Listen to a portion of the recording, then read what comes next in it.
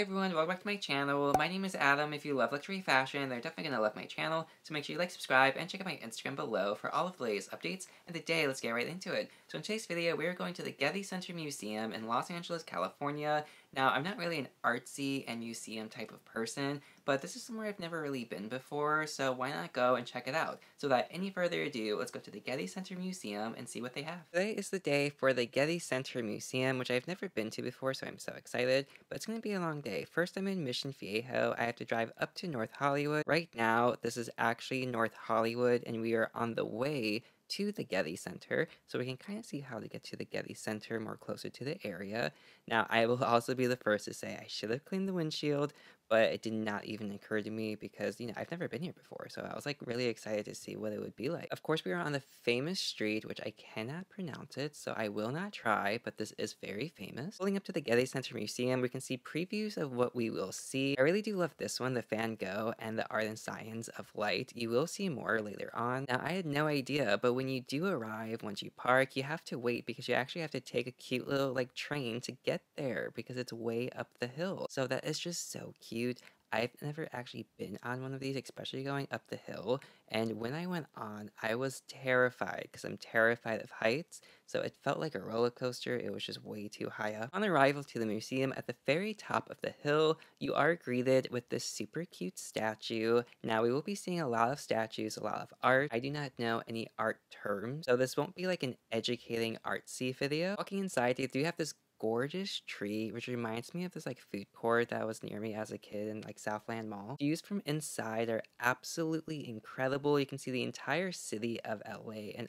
also this giant museum. This is all part of it and we will take a good look at it. But wow, the view was so absolutely like phenomenal. I totally loved it. Even when you zoom in, you can really start to see the city. My date and I did have matching shoes, which is actually really, really cute because it was black and white. I did kind of pick his out so we could match. My date did take this picture, which I wasn't too sure of, but I actually weirdly like it. But in the back is the building. We will be going to see the Van Gogh exhibit, the ultraviolet new light on Van Gogh, and I'm just so excited, but that's the building it will be in. Before I went to Van Gogh, I did see this amazing staircase, which I loved so much. Now, personally, I thought it was like very like religious, and then like devil hands was like reaching down on them. But then my friend Chris was like, no, it is 1000% a dove. It is not like satanic at all. So when you do walk up the stairs, you can see all of the details, and the details is so cool. Like I love it. But do you see what I mean by like the claws right here? This totally looks like claws to me.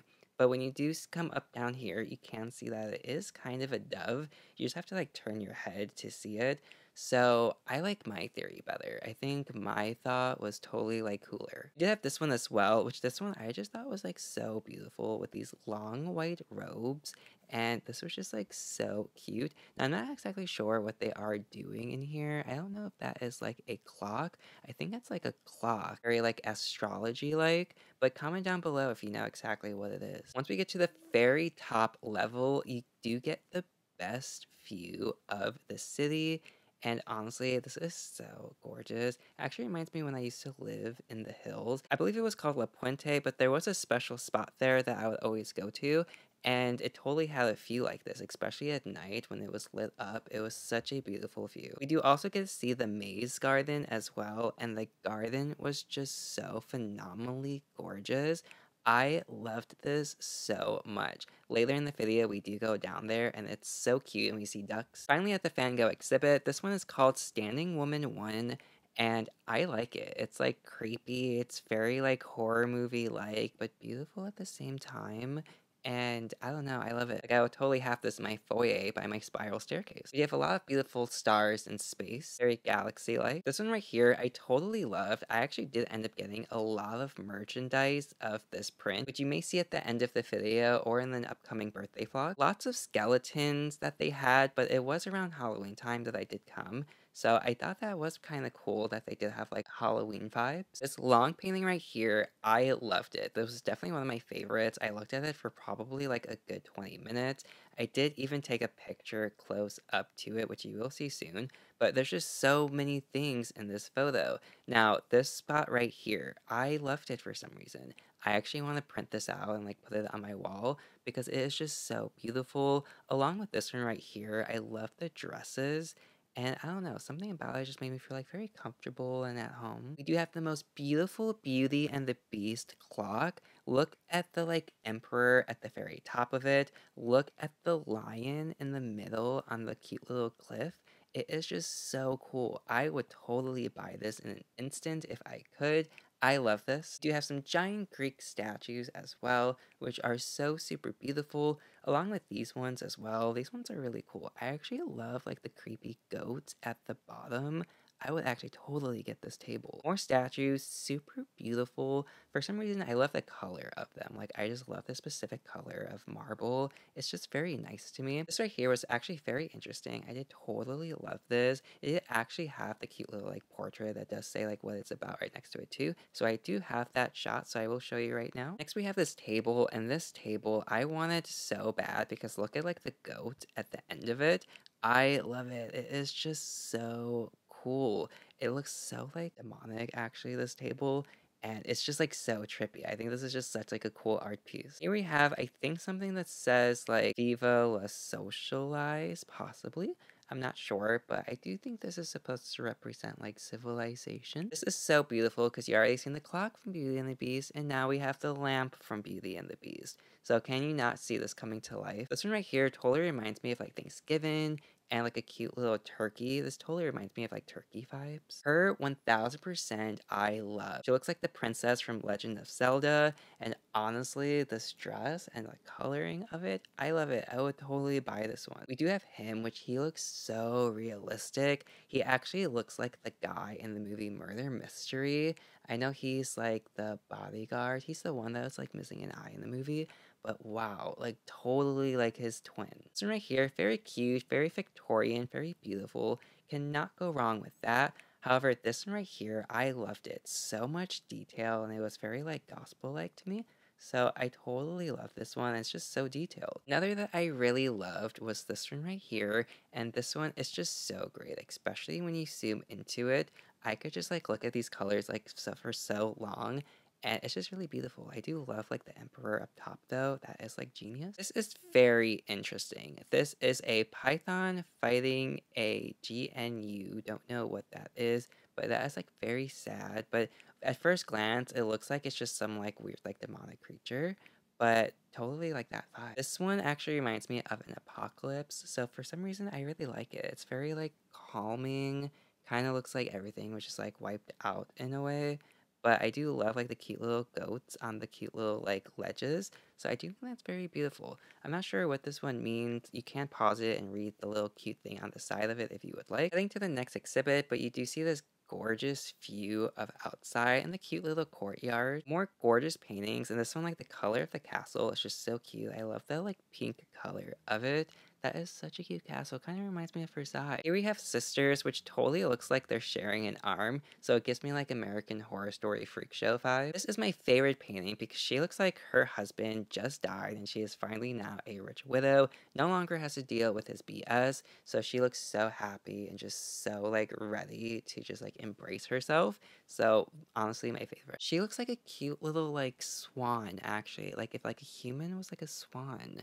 Like, it looks sad by the pond, you know? Totally the vibe. We have another widow as well, but she's a little less rich than the other one, but still very rich. Like, she still has her Rolls Royce, but she just doesn't really show it off. Cinderella here in the blue dress, personally, I love it. I just think it's so cute and glamorous. I would totally have a princess dress if I could. I should actually get one one day. I think that would be beautiful. And we do kind of get into just like a little bit religion.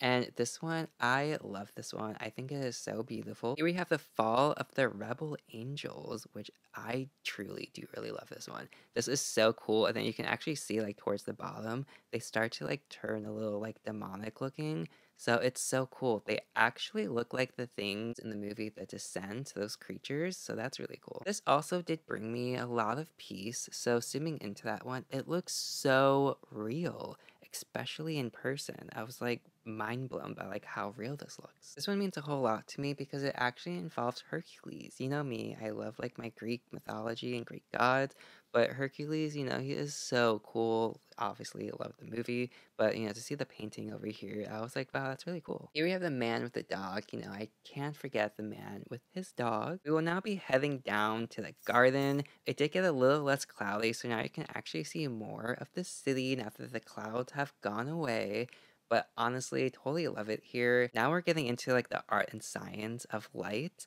And this one was really cool. You can't tell what it is though, because it was like a 3D and it wouldn't show on camera. But if you see this exhibit in person, it's, it's great. Now we have a lot of Frankenstein moments, which was amazing because Donnie loves Frankenstein. So this was like personally like his favorite thing to see and it was just so cute. So, you know, like the happiness on his face was adorable. We'll be going down to the garden now, but we do get to see this cute pond, and actually up there on the bridge is where I took that photo earlier, where I was showing you the courtyard. So, you know, just like a fun fact of where we just were. On the way to the garden, I was honestly very surprised because the statue right here looks like something specific, but it reminds me of Beetlejuice. So it was total Beetlejuice vibes along with this one. So this one turns into different shapes, at first, it looked like a weird bear or just like a weird person sitting down with their like arms crossed in front of them. But then when you go this way, it looks like a minotaur, half man, half horse. But then when you keep going, it just like turns into like so many weird shapes. Like this one, I don't know what to call this one. This one kind of just looks like a weird clay ET alien sitting down. Finally, making our way down the stairs to the beautiful garden. You can see these amazing trees. I love being this high up, even though I'm scared of heights. I actually struggled with this shot. I was like shaking so bad, and then Donnie had to step in and record that one. Finally at the garden, and this is so cute because it has ducks. So I left the ducks and I left the cute little like maze for the ducks as well. I mean, like, how adorable is that? And then, of course, if they get lost, they can just swim underneath it. So they will never actually get lost. But how cute are they? Just look at him. Like, look, oh, look at his cute little like flipper standing on the cute little like square thing in the middle. Oh, he is just so perfect. So, oh, hi ducks. They're so cute. We had some beautiful and amazing trees which totally like surprised me like the trees that they had like this view right here i felt like i was in japan or china like it was just so cool very like cherry blossom like and then this flower right here i just thought this was so cute it's just like the cutest little pink perfect flower so let's just give this cute little flower a nice little shout out. Last art piece, which kind of reminds me of Beetlejuice again in like the way that you probably know. Leaving the Getty, you do get this cool view walking down the stairs. Once again, I did take a picture with my cool little statue in the front. Now we are driving down the famous street that I can't pronounce. I'm gonna try, I think it's like Sepulveda, Sepulveda, Sepulveda, Sepulveda let's go with that. But this is like a famous tunnel that's in like a lot of movies. So I did get to go through it and I thought it was really, really cute. Now, after this, I actually did get In and Out and I love In and Out. I don't eat fast food, but if I do, that one is like 1000% yes. But honestly, this drive made me feel like Nicole Kidman and all of like the amazing, cool movies. So this is cool. I actually definitely felt like I was in like Eyes Wide Shut on this trip definitely the vibes of my trip. I will definitely tell you that. But this one was so cool, so great. Love the nighttime drives. And honestly, I thought this was perfect. So, you know, totally loved this. We finally made our way back down to Royal Hills, but right around the street, I was so surprised because they actually had that church, you know? So I know you get like censored or something if you say it here on YouTube. So I'm not going to say the name of it, but you can all see it on screen. But I was like, whoa, I kind of want to like go to it and take one of those like personality tests just to like, you know, do a video on it. Like, what is it like? So, very interesting. Comment down below if I should make a video on that. I did pick up a lot of very cute gifts. However, I will get more into this in my birthday video, but I will show you that these three pouches right here, I did get at the Getty Museum along with the magnets as well. And the thing is, these are so cute. They do fold out into a tote bag, but the thing is, two of these will be for my mom for Christmas. So I do unfold one pretty soon, and you will see that in just a moment. But I did also get this beautiful rock. Well, technically my date got this. Most of this was like very like cute, sentimental gifts. However, like the rock, I just love it so much, and I have the perfect spot for it. It actually is in the shape of a heart too. Now for the tote bag, I was genuinely very surprised because these are so much bigger than expected. But I really just want like a weird, interesting bag that I could just like take to run errands that's not like high end designer. Just kind of like, I, I don't know, I just wanted like a very like under the radar bag that I thought was cool, and I thought, well, a Van Gogh tote would be perfect. For the Getty Center, I have to say that I was genuinely very pleasantly surprised because I wasn't really sure what I was expecting, but the fact that they had like giant sculptures that were like 8 feet tall and all this like ancient Rome type stuff, I really loved it. I think that was so cool. And to actually see some Van Goghs in person as well. So those, I'm not gonna lie, that was probably my favorite exhibit was Van Gogh. However, I really did like the Lumen, the art of light and science. So I did think that was really, really cool, actually. So I love that, like the 3D prints that I couldn't really show on camera, but those were so cool. Now, I think that I would like to expand my journeys and my horizon of going to art galleries. I think that would be really, really cool, actually. I definitely always wanted to go to the Met in New York. That is such a good museum, and the fashion exhibit is the one that, like, of course, everyone here on my channel would be familiar with. However, I also really want to go to the Getty in Malibu as well, because that one is all specifically Greek. So I love that so much, and the fact that it's Greek is just like so perfect, and the fact that it's in Malibu is so perfect as well. I actually have a Malibu vlog coming very soon as well. But again, thank you so much for watching. Definitely comment down below what was your favorite art piece, and how did you feel about this museum and an art video on my channel. Again, thank you so much for watching. I really do appreciate it, and you. Make sure you like, subscribe, and comment down below, and have a great day. Au revoir.